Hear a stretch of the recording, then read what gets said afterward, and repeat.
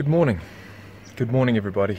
The date is uh, Tuesday, the 19th of December. So that means we're officially 20 days into the recovery.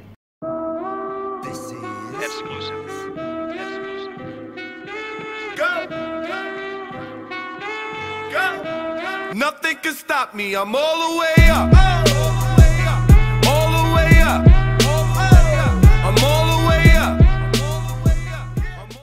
I'm here at work. I'm just enjoying my morning coffee.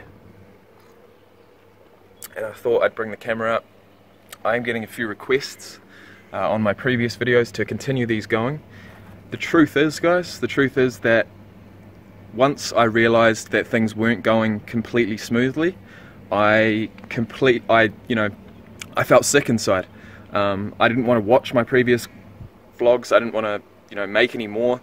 Um, I pretty much just got frozen in time for a period of about a week there, where I was just sick with worry. I was depressed. I was crying a lot, um, and and there was no need. All right, there was no need. I didn't. What I didn't do is ring my surgeon. I went to a fucking emergency department, see, saw doctors there, different ones, and that's just not the way you want to do it. You want to be round your surgeon. You don't want like if I had to say anything, guys, if you did have to have your surgery interstate or in another city or something, at least stay there for a week. All right, stay there for a week. Get a couple of dressings changed before you leave, and you know everything should be fine. If there's complications, the surgeon can deal with them. I left the Gold Coast three days after my surgery, so it's not long enough. That was my mistake. Anyways, guys, we're 20 days in. I am extremely happy to report that the swelling and the bruising is slowly, slowly going down. Like the surgeon said, um, you know, slowly but surely, I've just got to be patient, and that's what I'm doing. I will show you guys in another clip. I'm not going to do it right now. I'm at work, so it's probably not appropriate. But um, you can probably see, you know, there's still like a point. There is still a point um, underneath the nipple, which reminds me a lot of what it looked like before. But in this case, it's not a gland; it's blood, and slowly but surely, the blood will be absorbed back into my body, and I shall get a really nice result. Now, the way I see it, um, it's it's actually it's quite strange because looking at it, um, I, I actually oh well shit, I was meant to tell you guys I took the stitches out yesterday, so that was I did that myself. Um, I've never sweated so much in my life. I was fucking. It was like playing a game of Operation. I was trying to be steady with my hands. I was trying to get it out. Anyways, guys, shed a tiny little bit of blood, but I got them out, so the stitches are out, and there's just a couple of cuts. So actually, you know what? I'm going to show you guys right now. Okay, so I mean, honestly, guys, it still looks, it still looks pretty bad, but it's improving.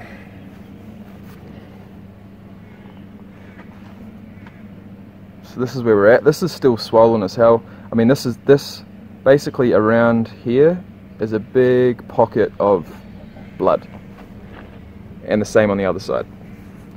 So, if anything, uh, you know, the lines down the side of the pec have come in a lot more. This swelling was way up here as well.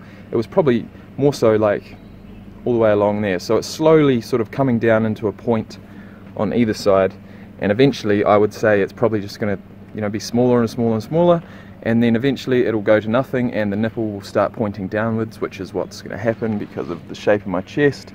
As the swelling all goes away, this is really going to shape up, and fuck, I, I, don't know the final result, all right, but I'm confident. Like like I said, the stitches are out, the cuts are healing, and hey, what else can I do? So, optimistic, positive, for a 110% result. It's just going to take a little bit longer. So, so anyways, I've told you guys about my stitches. I've shown you guys what it looks like.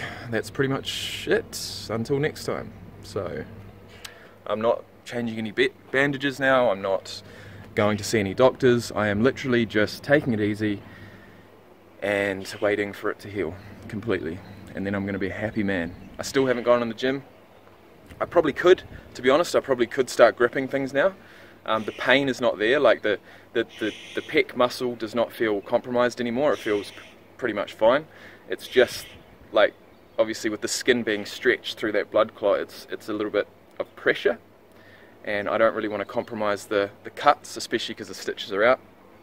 Um, and another thing I want to say is that I, I firmly believe that the fact that the blood has been behind the cuts the whole time has, you know, uh, it hasn't let them heal as fast as what they probably could have. So, you know, I've it hasn't gone smoothly, guys, but reality is it's not even three weeks post surgery, so I'm not expecting any miracles. Anyways, guys, like I said, optimistic for 110% result.